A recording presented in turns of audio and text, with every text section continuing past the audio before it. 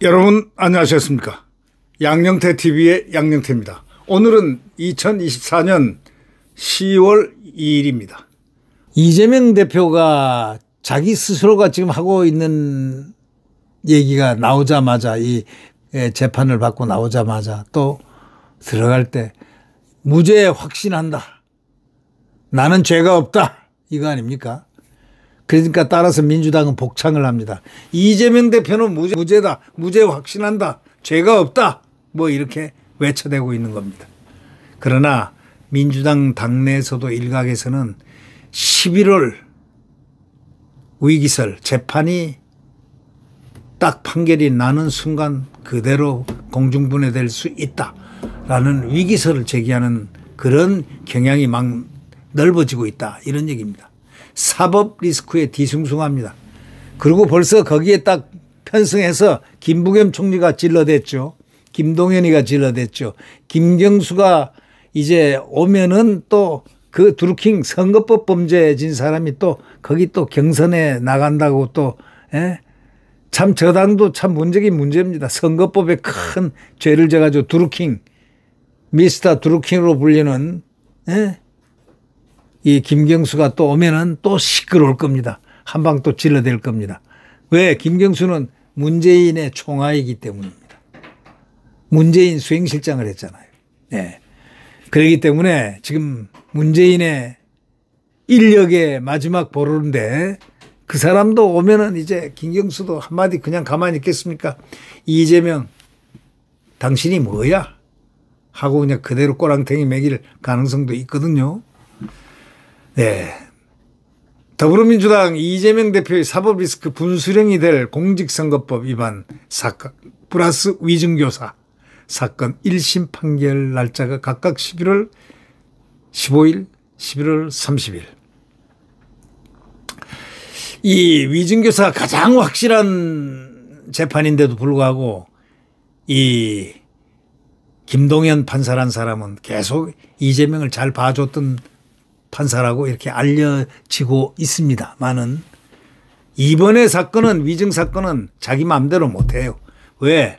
이 사건이 너무나 법이 딱 상자 상자에 딱 법이 예, 아주 중대한 범죄라고 나와 있는데 그게 증거들이 차고 넘치기 때문에 이것을 과연 김동연 판사가 어떻게 할 것인가?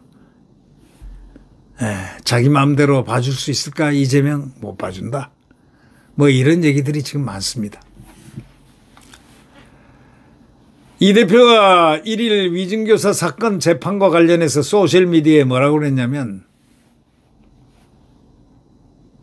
편집 안 된 원본 녹취 파일을 직접 듣고 위증교사가 있는지 판단해보라 하면서 약 30분 동안 녹음 파일과 녹취록 등을 올렸습니다.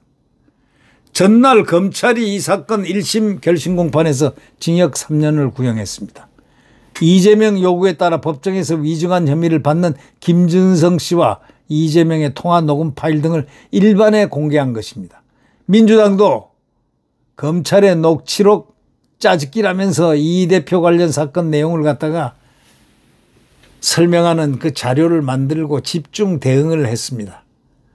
그런 방안도 지금 검토를 하고 있습니다. 그러나 이 대표 선거법 위반 사건 1심 선고가 다음 달 15일입니다.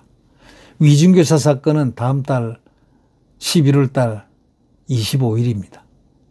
15일, 25일 열흘 차이로 딱 그냥 결심을 판결을 내리게 되는데 여기서 이 어, 위증교사에서 말이죠 구속 가능성도 없잖아 있다는 겁니다.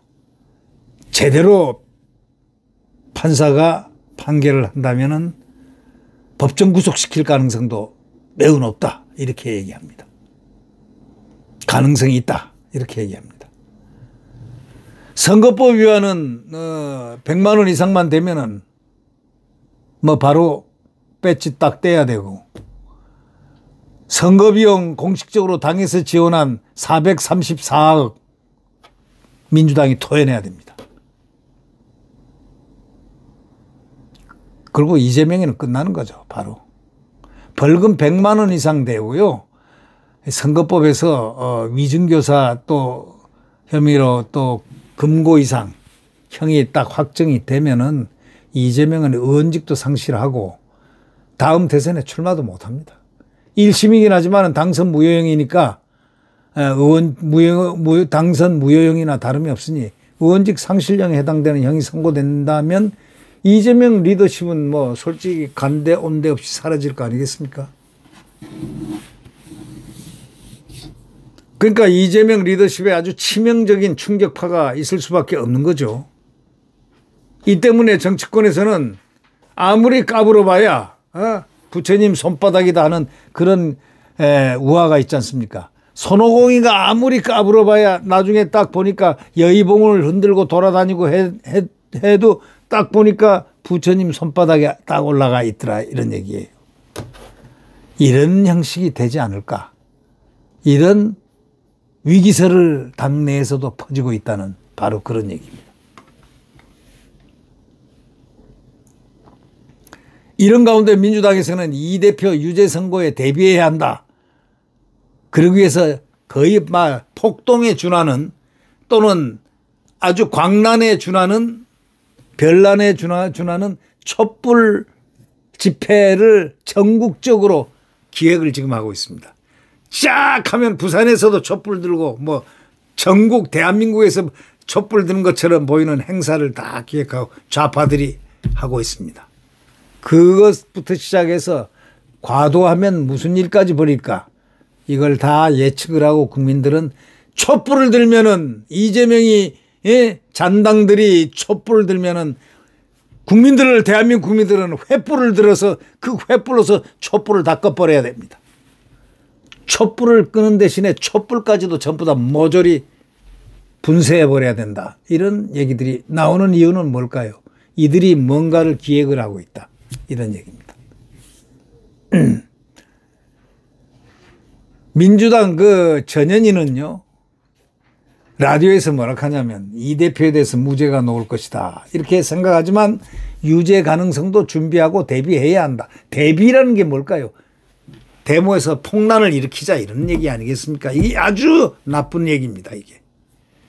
그러나 그렇게 할 경우에는 대통령이 대통령이 국, 국가 보위를 위해서 해야 할 일들이 생길지도 모릅니다. 예. 그럴지도 모르죠.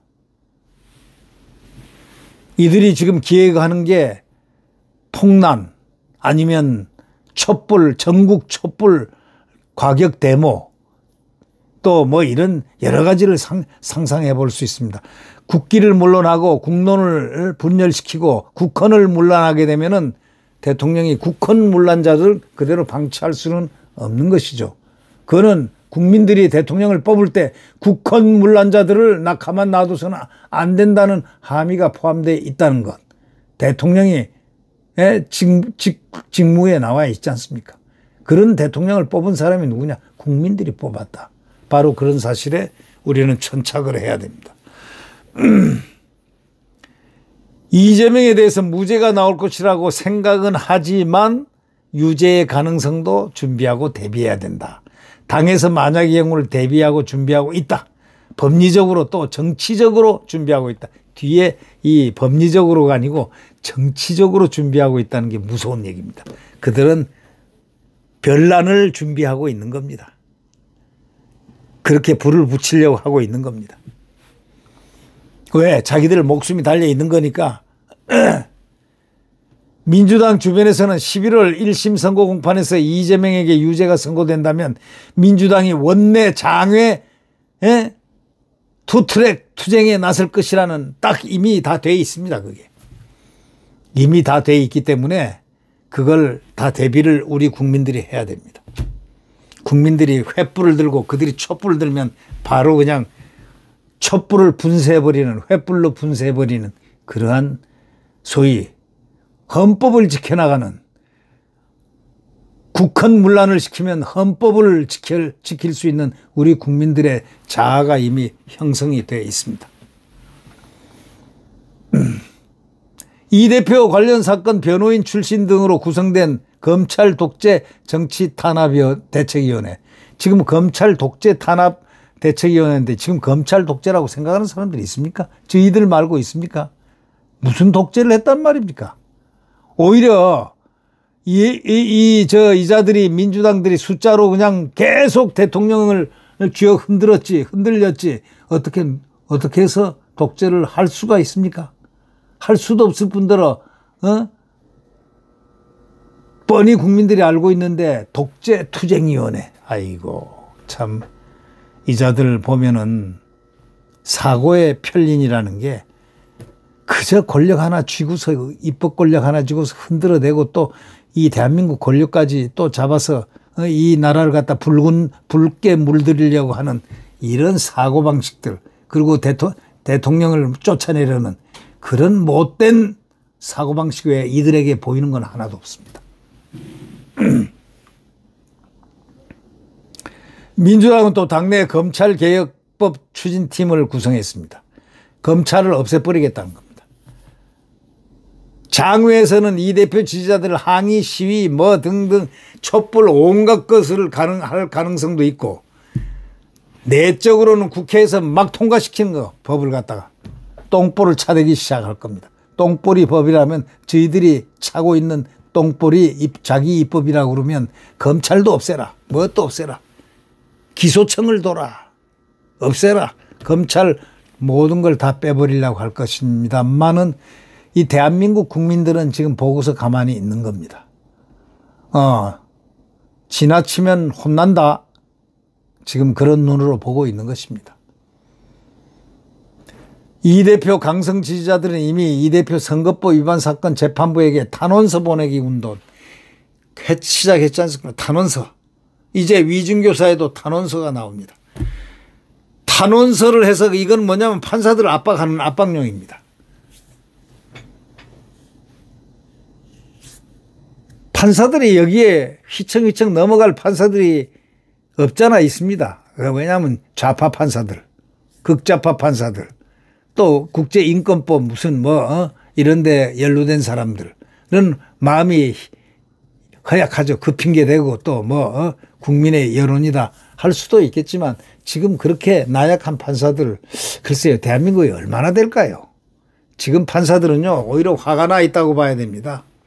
어떻게 법을 맘대로 어?